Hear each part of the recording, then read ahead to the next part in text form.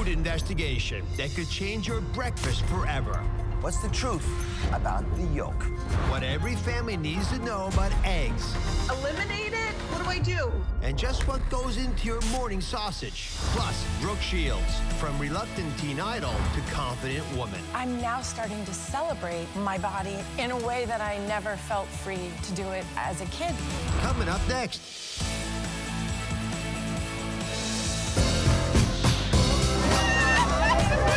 Ready for season 11?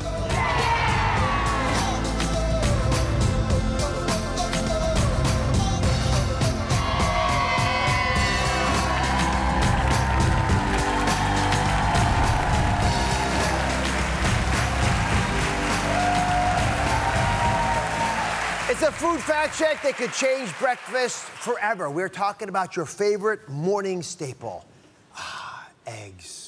So many of us still question them nutritionally. Could they still be bad for your cholesterol or your heart, even though they taste so good? Right? Or are they really protein heroes you should be eating them every day? What's the truth about the yolk? I've got breakfast tables all across America who are standing by to find out are eggs good or bad for your health? Hi, America! Oh, they're all energetic out there. Today, the latest news to help unscramble all the confusion. Because it seems like a lot of my viewers spend a lot more time debating everything about eggs than actually eating them. Take a look. Hey, Dr. Oz. I'm Jade, and I'm here with the rest of the brunch crew. Let me introduce you to the girls. This is Amber. She is our resident expert in everything in life, I try to uh, be especially so food. This is Chris. She's been brunching it forever. All the time. And this is JoJo, and she is kind of picky. Uh, every time we go out, there's a problem with her order. There's a problem with her Everywhere we go. eggs. That's true.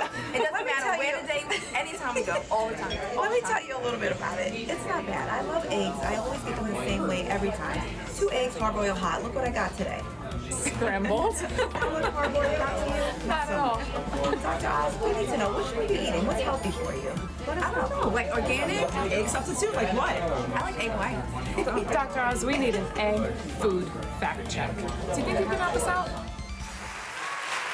Our brunch bunch is here in person. Christina, you say you always go for the egg whites. Why is that? do, and the reason why I'm on a new health kick, and I feel like to be honest, Dr. Oz, it is high in protein and low in calories, and I'm trying to watch my figure. Well, I agree with all that, and Jade probably does on some parts of it, but not the egg white part. I kind of disagree. I like the whole entire mm-hmm. egg. It's just more pleasing. Amber and Joanne, your thoughts about this conflict, this battle of wills? I don't know. I agree with my thing is all about taste. So whether you give me the whole egg, you give me the egg white, for me it comes down to what tastes good. So I don't know. I'm gonna have to agree with my cousin. I Oh, oh cousin. I know. Let's bring in my good friend, Chief Wellness Officer at the Cleveland Clinic, Dr. Michael Roizen. He has been at the center of this, researching it, learning everything you can, becoming the world expert on the yolk of the egg, because he's been at the center of this debate. What is the latest about yolk's actual nutritional benefits? So yolks have great nutrition. They have all the proteins you need, all the amino acids you need. They're wonderful. But we worried about them because of this yellow stuff, the cholesterol. But we were worried for the wrong reason. What they really have is a lot of this choline. Yeah. Now, there's a hundred times more choline than in your favorite cup of kale. But choline is essential. It's essential for brain health and metabolism. So the big question is, was it a danger? And is it a danger? Well, at the Cleveland Clinic, Stan Hazen and Wilson Tang did some beautiful research showing that it turns the bacteria inside you to produce TMA. And that TMA goes to your liver, that causes inflammation in your arteries, in your brain, and in your kidney. So a little choline is absolutely essential, but choline with egg yolks may be too much. All right, so let me show you why choline needs to be on every doctor's radar screen. So let's take a close look at how the substance in egg yolks may actually cause blood clots. So you got the egg, you put it in your body, right through your mouth, down into your intestines, right, and you ingest it. It can interact with certain gut bacteria, and that gut flora, right, makes a chemical that, that creates something called TMA. That's what Michael Roizen mentioned. It doesn't really matter what it's called. It matters what it does. What it does is it turns into this thing which can cause inflammation in blood vessels, which can lead to the formation of plaques, right? That can narrow arteries. It also makes the platelets sticky, more sticky for, and that's important because platelets are great for clotting, which is fantastic for your gut, but it's bad if that happens in the blood flow to your heart or to your brain. That can lead to a heart attack or to a stroke. So let's check in with one of our breakfast tables who are standing by to see how this has influenced them. Michelle and her friends have been having breakfast right now at Beyond Diner. How are you guys? So who over there is a yolk lover? This one right here. Guilty. Mark. Oh my gosh, Dr. Oz. This news is, I'm an emotional eater. I love yolk. they always tease Yes, that whenever do. we, go out, that's like my breakfast of choice. So eliminate it. What do I do? So what do you think about this news on the yolk? I feel sad. I mean, I, I, I appreciate it, but I eat it everywhere we when we go out for Yeah. brunch. We go to brunch all the time. And So we always make fun of her because of it. All right, well, thanks for joining us. You're going to enjoy this because I'm going to put Dr. Roizen to the test here. He's with the Brunch Bunch. And he looks concerned, and so do they, about what you just heard. So if you absolutely love yolk, like our guest just mentioned, what do you do?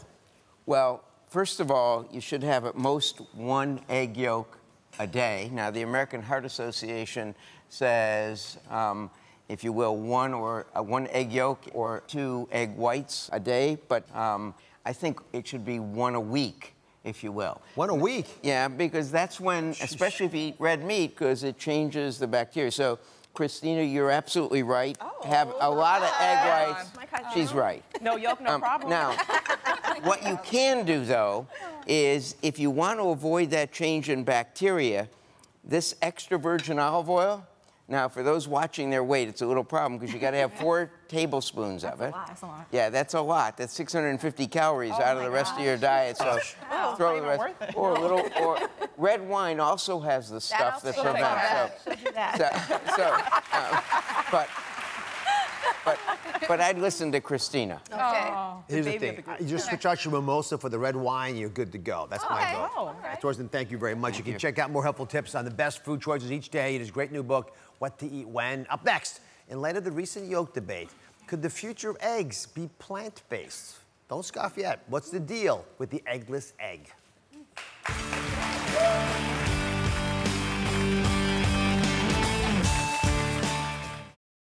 She was adopted from the Ukraine at age six, but her new parents knew something wasn't right. It's obvious that her records were falsified. This is an adult masquerading as a child. They obviously need some sort of help. She is screaming, I'm going to kill you.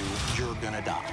Truly unbelievable. Plus, breaking news. Is Lori Loughlin headed to jail? We have the latest updates on the college admissions scandal. That's coming up tomorrow.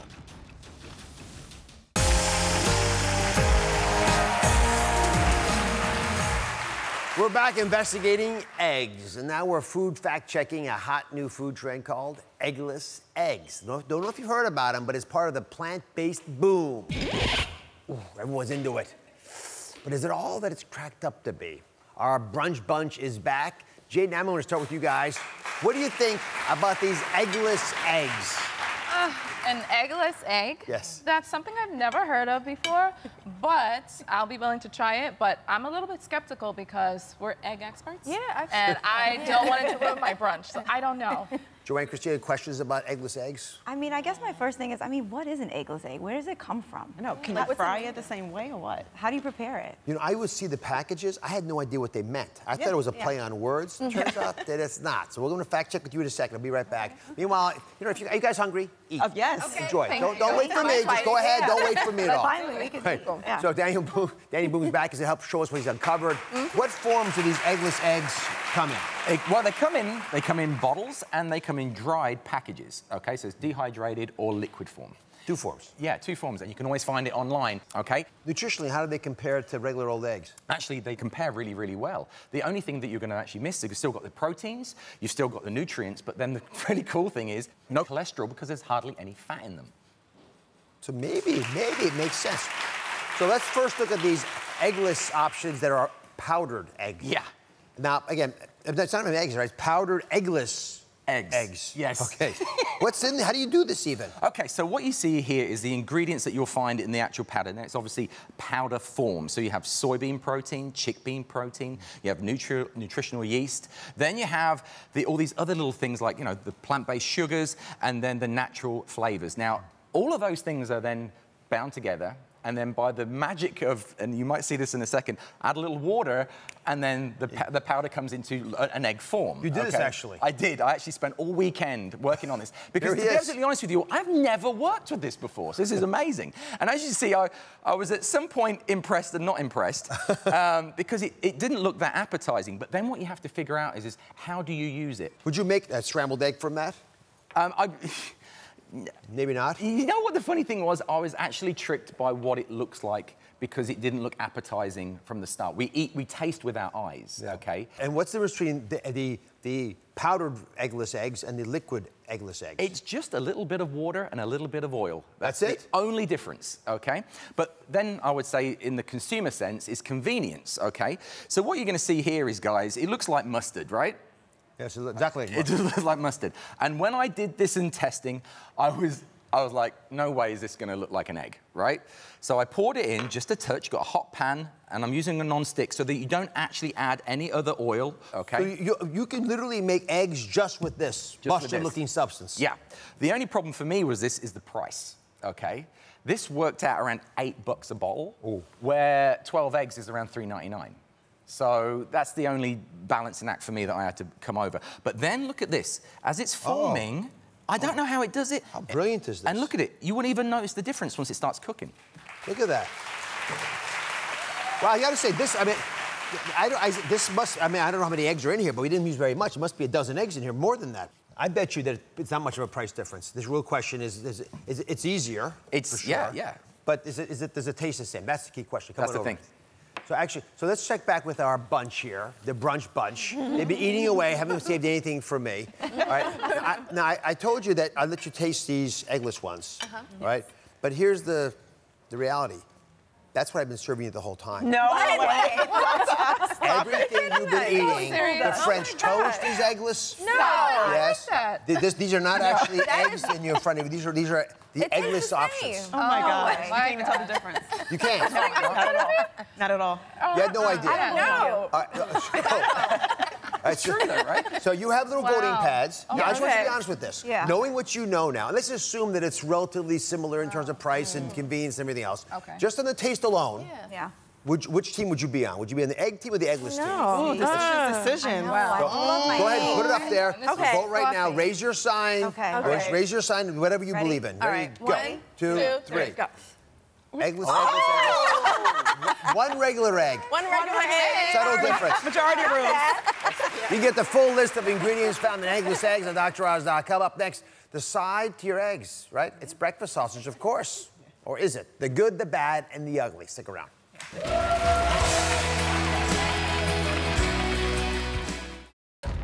Inside the scariest house on the block. I hear footsteps coming up behind me. And what we uncover You feel chairs moving somewhere in the house? will shock you. All new Oz. That's coming up on Thursday.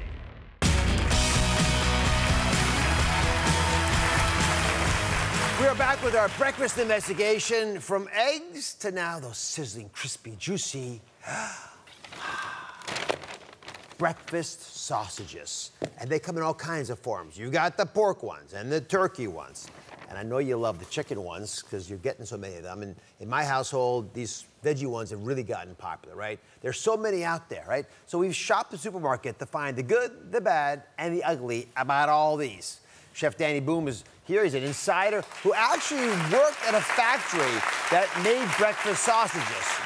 So regardless of what meat goes into it, how does a supermarket sausage actually get made? You've been there. I've been there. I've been in the trenches, Doc. And the, the strangest thing is that like in the last 10 years, we've seen a big industry shift, okay? It used to be the cheapest sausages used to be filled with filler, which was basically what, what we like to call mechanically reclaimed meat. so we would throw all the bones in that was left over into a big centrifuge whisk, and then all of the meat that was left over would be scraped out and then pumped into, into the, the basically the, the casings, okay? And so what you want to look for is in your, in your sausages, the first thing is when you open a sausage, you actually see a little air bubble in there. That means the fat has opened up. Okay, Oh. that means that there's actual proper fat and, and lean meat that's been in the sausage. But the, the cheaper ones are generally more solid, okay, because that is basically the filler. All right. Ooh. So there's a big difference between the price points, but obviously if you pay that little bit more, you get a lot, lot better for you. Let's walk us through some of these things. Okay. So when it comes to the meat versions of sausages, breaking it down, we got. we Actually, let's start with the good. What is good about breakfast sausage that you find in the supermarket?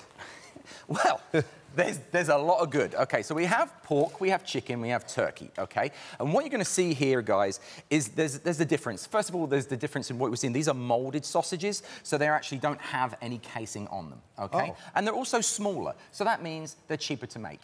All right, that's the first thing you're going to see. But then what you look is into the ingredients and the protein levels. Sausages are always going to be a great source of protein. Okay, that's the most important thing. But then there's, and also there's no really additives into it. There's lots of natural ingredients in sausages these days.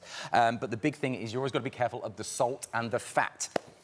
And the, and the bad side, the, the thing you concerns you the most is? Is always there's high calories, high in salt, and high in fat. Okay, because the fat is always the filler. Well, they taste good. They do It taste the good, fat. and fat equals flavor. so of the meat sausages, which one should we be looking for if you want to eat healthiest? Okay. Got pork, chicken, or turkey to choose from. I'm always going to go for the. I'm always going to go for the turkey. Turkey is leaner, it's got less natural fat, and basically, I always think it tastes better.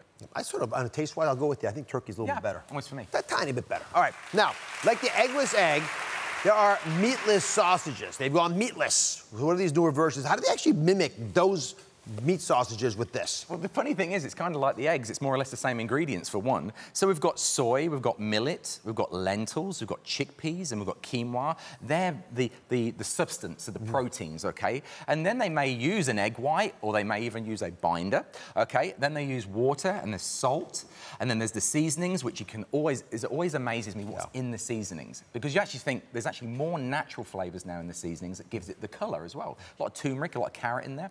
Um, then you've got cane sugar, and then for some reason, we noticed in the ingredient listings, there's a lot of maple syrup. Both sugar, regular Yeah. cane sugar, and maple syrup? And I'm like, whoa, whoa, whoa, whoa, whoa. I'm putting maple syrup over everything in the, in, with my pancakes and my eggs and tomato ketchup, so why do we need so much? So I generally go for the not so breakfast sausage so I can save on the, on the sugar intake and the salt intake. Yeah, I, it, I, it does explain the sweetness, but it's Yeah. mainly the seasoning that makes it special, makes it comparable. really the does. texture's a little different. Yes, yeah. Okay. So, how do veggie sausages great nutritionally? I mean, I, obviously, we avoid some of the bad stuff. Okay, this is the good side, okay? We've got more or less the same amount of nutritional value as like the eggless eggs. But again, with the, you have to be careful with the veggie sausages, it comes down to salt, okay? Now, with those sausages back there and with these sausages here, what you've always got to look to is the back of the packet, okay? Mm-hmm. Now, the back of the packet is always going to give you the calor- caloric intake as well as the ingredient intake. So if salt is number three, you don't want that in the ingredients list. The higher the ingredient, that means there's more of it. Okay, so at number three, we don't want salt at number three, we want salt at number eight. Right. And again, but there's no cholesterol in these, right? No cholesterol. Less fat. Uh, they're still high in protein. All right, so we wanted to find out which tastes the best according to another breakfast insider. So we brought in Faye, who's a waitress at Vian Diner. You're probably wondering where she is right now, right? She's always on her feet. So I thought she would give you a chance to, to just put something in your mouth instead of running around all day long. You've tasted all of these. Any thoughts? So I thought that I would go for the pork sausage, but it turns out it is the veggie sausage that I found to be the most salty and juicier. The veggie one. Yeah. Really? Oh It's my really good. goodness. There you have it, everybody. The expert has spoken. Veggie wins, and it has nutritional benefits that Chef Boome spoke of. Exactly. Give them a chance. Give them a chance. We'll be right back.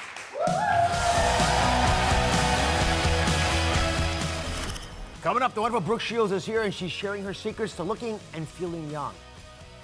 Is this one of them? This may or may not be one of them. I'll reveal the real things I do. Am I being punked?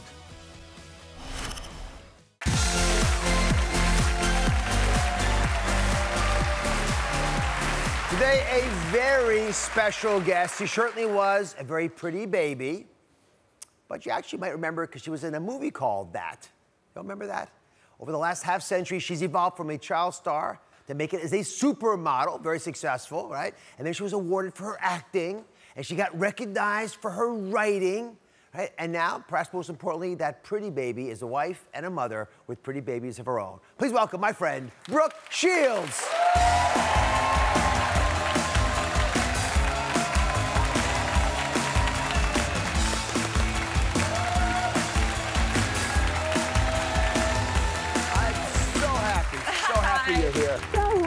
See you. How are you?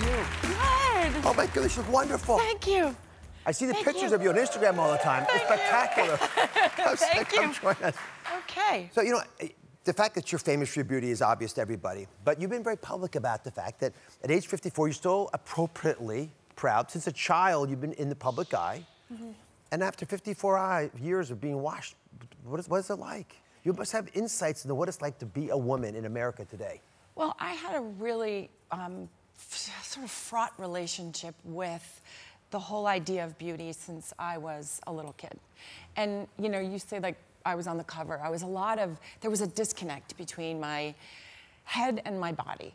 What's interesting about it now, as a 54 year old, I'm now starting to celebrate my body in a way that I never felt free to do it as a kid because when there's I, I think that when there's such scrutiny and there's so much attention paid to the physical, I just shut down. So instead, I kind of avoided it and threw myself into my studies and threw myself into academics and that was going to be i was going to work on the, my brain and i was going to have a life independent of this whole crazy world that I was in. Like I was going to be a healthy human being. I was going to have a family, and I was. So it was an interesting trigger for me. So your, your mom was your manager. You've Yeah. spoken about this in the past. H- mm-hmm. How did she contribute or alleviate some of the pressure you were feeling? I, you know, she, we were so enmeshed. And she used to, she never shamed me about my weight or anything like that. But if she got drunk, she would make a little comment here and there. But then in the next breath, she would say, you know what? Forget them if they can't handle it. You know what I mean? You're just, you just be proud. You just walk out and you just be proud. So there was this kind of mixture always of these two things coinciding in my brain. And it was hard to really know what to do with that. You, you mentioned sexuality. In, in, in what ways did you not feel sexual in this process? Because I was labeled the Lolita as a baby, you know, even just as a kid. And then I do Pretty Baby, and that's a controversial film, um, and Blue Lagoon. But then in the next breath, I was labeled the most famous virgin.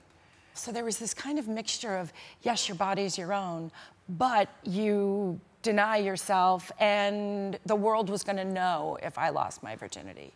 So I have this, this fear and this terror. So I just thought, oh, just gonna not, not even deal with that. So when it actually happened, when you lost your virginity, did you feel I, I ran out of the room down the hall butt naked because I was terrified that the world all of a sudden knew. It was crazy. Like my brain had a. my poor boyfriend was just like, hey, hey, hey. Like ran after me with a blanket and was like, you're okay. It's okay. I'm not going anywhere. He was just very sweet about being patient. So Rowan and Greer, they're 13 and 16, right? Yep. Joyful ages to have in the house. Joyful, yes. Just joyous. I've- I've. Easy, helpful, polite, kind. They listen. Ah, they listen. they they engage. Yes. Nothing, nothing, nothing. Nothing. It's the usual answer I don't you know. get. I don't know. I don't know. So, do you talk? Do you talk to your daughters about body image? It must come up. They, I, I, they teach me. They have taught me. It was interesting because it wasn't until I got pregnant that I started celebrating my just my physical being and being a female and and these girls love their bodies. They're just looking at the tighter, the shorter, the, the, the and it was so shocking to me to watch them love their curves and their form. And, it, and, you know, and they would say to me, Mom, you know, you should, you, you look good. Why don't you wear a bathing suit? Or, you know, why don't you wear a bikini? Or why don't you do this? And I would just think, no, no, no, I've got this and I've got that, and no, no, I'm gonna be a disappointment. And, and you carry that stuff even with you. And then I thought, I can't do that because now I'm not giving them the proper ammunition. I'm not, I am not preaching properly because I want them to do something, but I'm not the example of it. You know, what I love, I love how you thought all this through. That's what moms do. You've worked it all out. It, took, it takes a lifetime to figure it out. It- when we come up, when we come back, Brooke's going to reveal more about how she looks and feels fabulous at 50. I want you to hear her three secret weapons in the fight against aging, and they're powerful ones. That's next.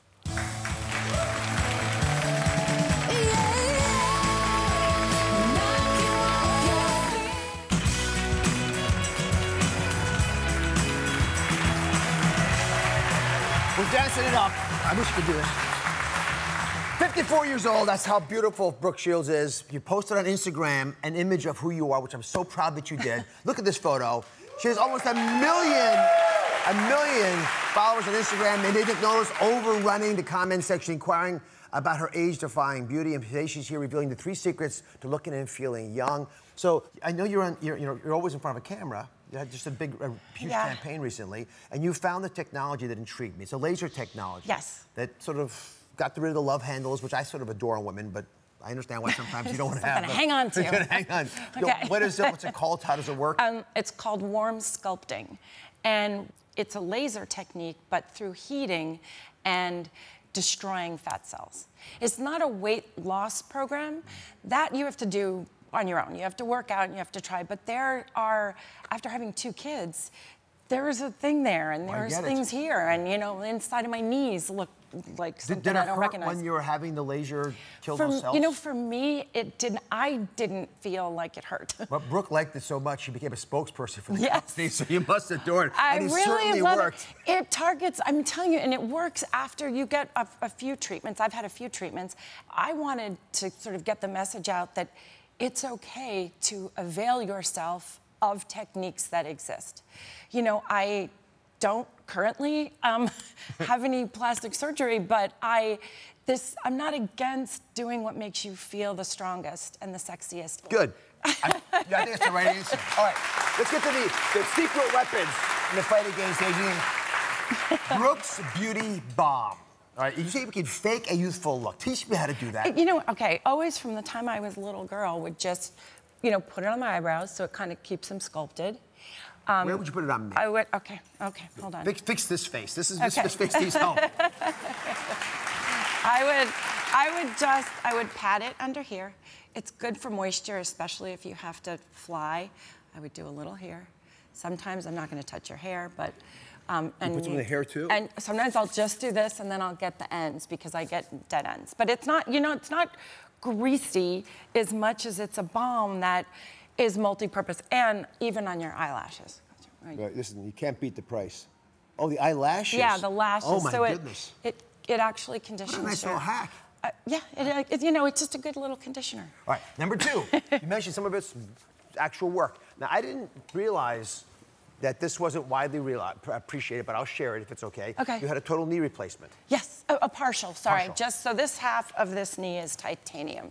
Well, you, you, even better. You're not you're a six million dollar woman. Exactly. Right? But so, but so, but you you got it from working out a lot, and yet you still feel so passionate. So Pilates has become your new exercise. Yeah, and I got it from dancing. Actually, I'm just gonna do this because I um I don't have total balance yet. Um, but uh, I got it from dancing on Broadway. um, so I'm gonna just do this because I don't usually do it in um, Oh, up on your knee. heels. So there's place you could put it here, and you sort of squat. it's very ladylike, and you do this. and then you go back, and you feel how than you think. hard that is. Yep. Says waddle over here. We'll waddle this way. gotta- Now, there we go. Step There we go. There we go. around the There we go. All right. There we grub for growing. I'm sorry, for glowing, not growing. Grub, you might grow too. But grow. Grub for glowing and going. Okay, yes. It keeps you a little, uh, it keeps everything flowing, so to speak. I um, Love yogurt. I like just plain yogurt. You put a fiber cereal. A fiber cereal of your choice. This is your typical breakfast? Yeah. I'm gonna use my fingers. Please. Berries. About these babies. Yep. Thank you. there. A little drizzle of honey, and it's a delicious snack. Oh boy, it's not a drizzle. Simple, okay. easy. Again, like the other things you've shown us, very inexpensive. And there's no reason you can't automate your life to include this. The fiber is really good. I find I need that now. Come on. Bring our bands over here. All right, now, mm-hmm, the final bonus, bonus secret. You say this to yourself every day as you have your breakfast with your bands, multitasking, your daughters are ignoring you, all right? Exactly.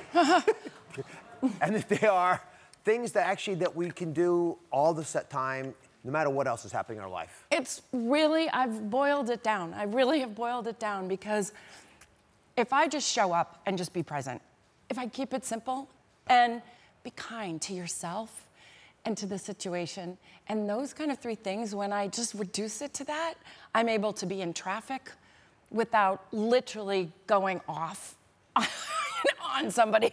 You know, you, you've always been beautiful on the outside. It's wonderful to see how beautiful you are on the inside. God bless you. Brooke Shields. We'll be right back. Last to learn from this woman. Pay attention to her wisdom.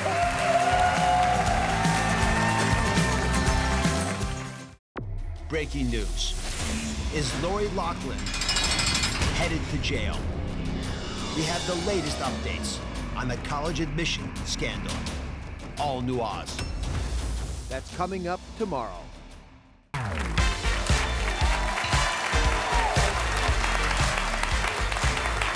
What do you think of when you hear the word eczema? You just imagine dry and itchy skin? Well, over 31 million people in the U.S. have some form of eczema, and almost 10 million children have the most common kinds called atopic dermatitis. These are what images of atopic dermatitis look like. With these staggering statistics, chances are someone in your life suffers from eczema. But do you really know what it's like to live with it? Today, what's your eczema story? And how to help stop this itch scratch cycle?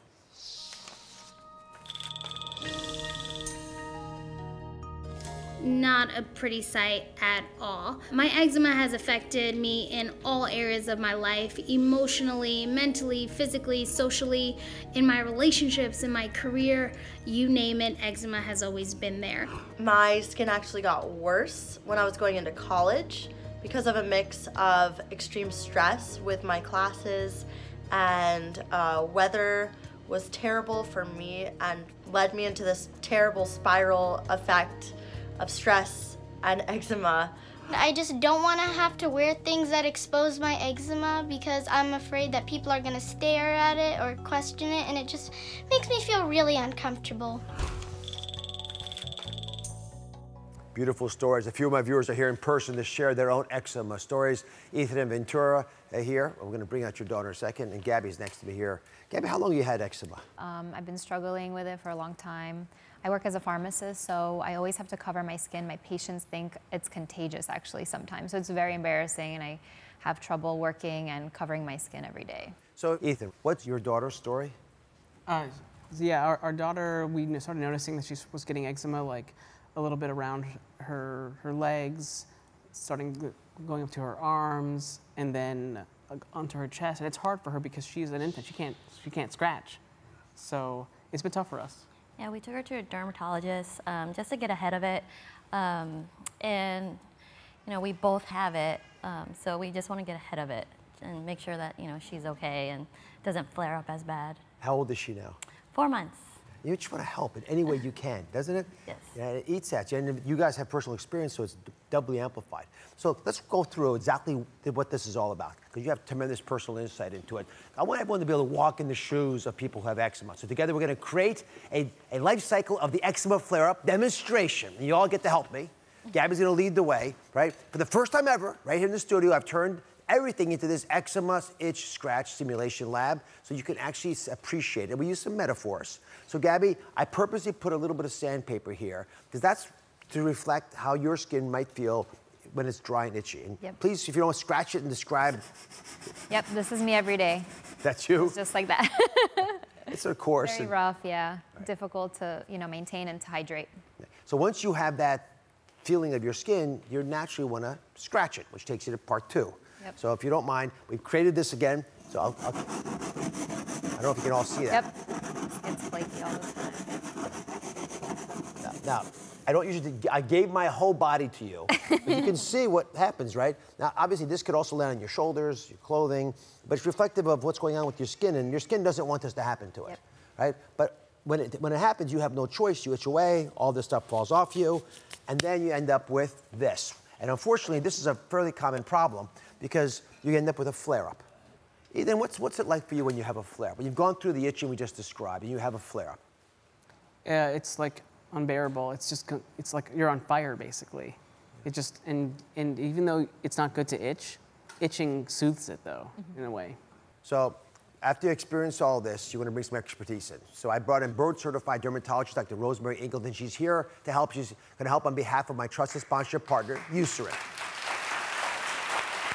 So those three wonderful people we're going to come back to in a second have told us their personal stories. And that's what our whole show today is about, people sharing what's really going on in their lives. But as an expert, explain to those who don't know much about eczema what's really going on. So, eczema is really a, a, group of conditions where the skin becomes very irritated and inflamed. Atopic dermatitis, that's the most common type of eczema. And what's happening really at the bottom line is that there's this breakdown in the protective barrier of the skin. And what happens is the surface of the skin doesn't seem to have its ability to, to hold on to moisture, so that's why you get dry. There's also this problem with protection from things from the outside, so allergens and irritants, all those things come in and they set up this itching, then the scratching starts, and then you're in the midst of a flare. So how do we get relief from this cycle? This is a little demonstration to, I made to reflect what you were just saying. Mm-hmm. So think of this as your skin, right? And on top of the skin, you have these cells, but you have cracks now that develop. And because of these cracks in your skin, it allows things to get in there that normally wouldn't bother you, right? So what do you do? What do you recommend when your skin is dysfunctional, when your skin is red and dry and, and cracked like this? What you need mostly is moisture, but you need a moisturizer that really targets the things that we're seeing. So you want something that targets the dryness, you want something that helps to protect the membranes, you know, to help these cracks to seal up. And you also want something that's going to help with that irritation, that redness, all of the discomfort. So try to find products that have ingredients like oatmeal, colloidal oatmeal specifically. You want something maybe with ceramides that help to seal those cracks in and build the structure back up. And look for something that maybe that has licorice root extract in it. That's definitely going to help to calm the skin.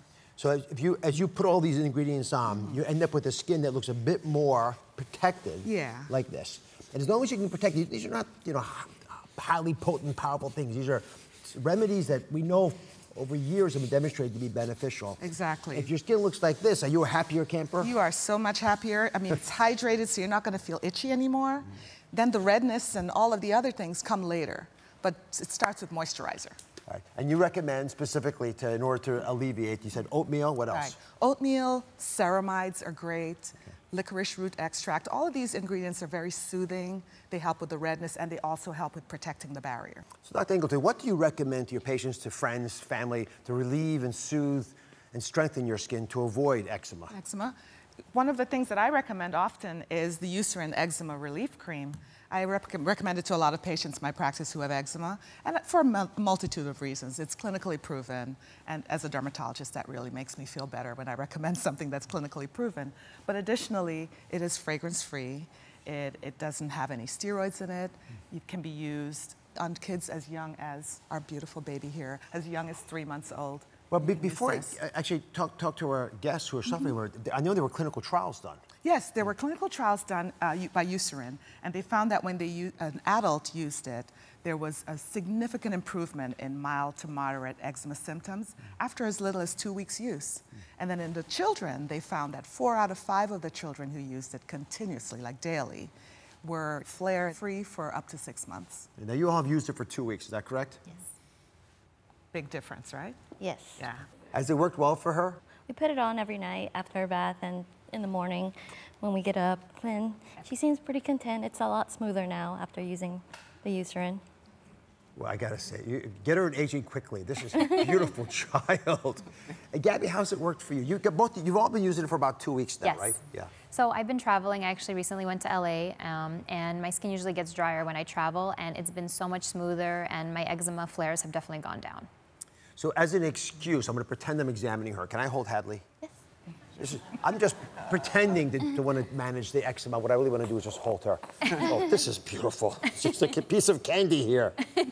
Congratulations. The best thing that ever happened to us was having a child, and having one that's free of eczema makes it even more perfect. Yes. God bless you. So beautiful. So listen, I get to have this gift, but thanks to our trusted sponsor partner, Eucerin, beginning tomorrow at 12 p.m. Eastern Time, the first 5,000 people to go to DrOz.com will receive a coupon for a free tube of Eucerin Eczema Relief Cream. And we're not going to stop there. My entire studio audience is going home with Eucerin Eczema Relief Cream. Hadley, is that a good idea? She's happy. Oh, Abby wants you to have it. We'll be right back. So nicely made.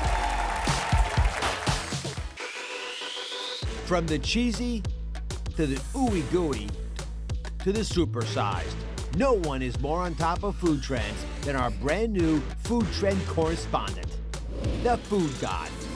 Instagram star and Food God podcast host Jonathan Cheban has tasted the good life, and now he's serving it up to you.